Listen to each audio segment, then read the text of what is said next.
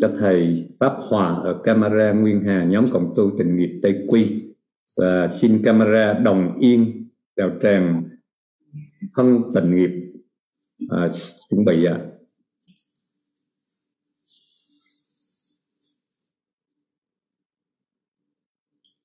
Dạ, A Di Đà Phật.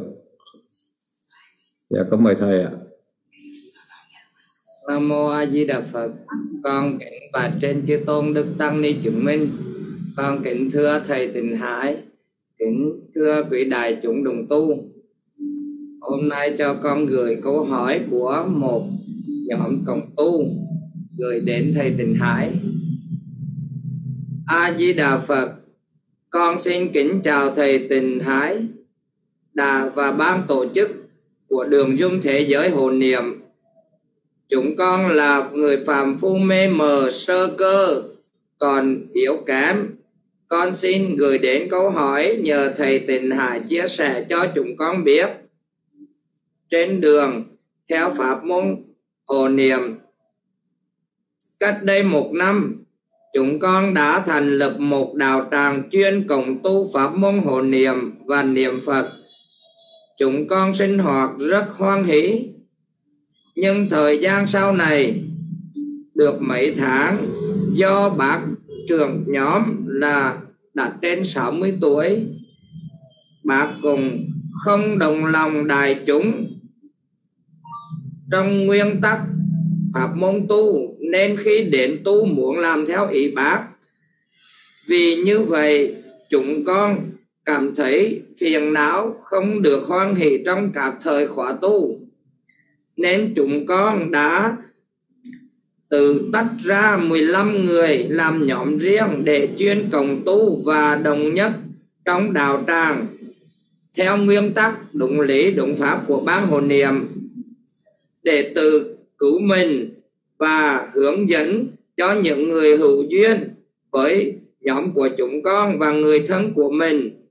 Muốn như vậy thì chúng con đã từ thành lập ra và đang sinh hoạt, tu tập đúng lý, đúng pháp của pháp môn hồ niệm. Như vậy, chúng con tự ý tách ra một nhóm riêng như vậy và chúng con cũng muốn đặt một tên nhóm mới không liên quan đến đạo tràng trước đây của chúng con. Thì như vậy chúng con có sai lý, sai pháp hay ảnh hưởng đến trong pháp hồn niệm của chúng con không à nam mô a di đà phật. A di đà phật. Chúng ta tu là nên nhớ là y pháp. Bất y nhân. Đây là lời dạy của phật trong cái bốn y cứ mà phật dạy là luôn luôn làm đúng pháp, chứ không phải làm đúng theo người. Nếu câu hỏi này là có một trưởng ban đã làm không đúng chánh pháp, nếu thực sự là không đúng chánh pháp, làm theo ý riêng, không hợp với chánh pháp thì chẳng lẽ ta đi theo người không đúng chánh pháp để rồi hưởng cái gì đây? Hay không chư vị? Cho nên chư vị tách ra như vậy là đúng cho hoàn toàn không có gì sai.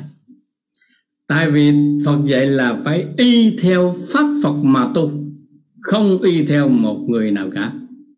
Một người thế gian nào làm đúng thì ta cứ việc theo rồi người không đúng thì chúng ta phải lo cái phận của mình.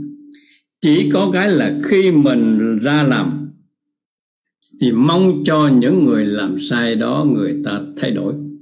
Còn nếu người ta không có thay đổi thì nhân quả ai nấy lọt đường ai nấy đi.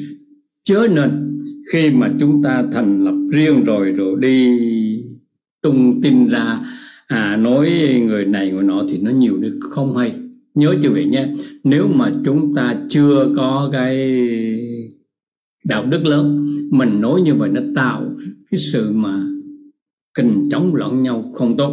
Còn chư vị tách riêng ra, đặt tên mới hay làm sao, đúng chân pháp, nghĩa là mình phải quyết lòng, đúng chân pháp thì điều này hoan hô vô cùng, hoàn toàn không có gì trở ngại đâu nha à gì đà phật. Con thành tâm cảm niệm tri ân công đức thầy du âm trình hải. Chúng con à, cảm niệm công đức câu hỏi của thầy pháp hòa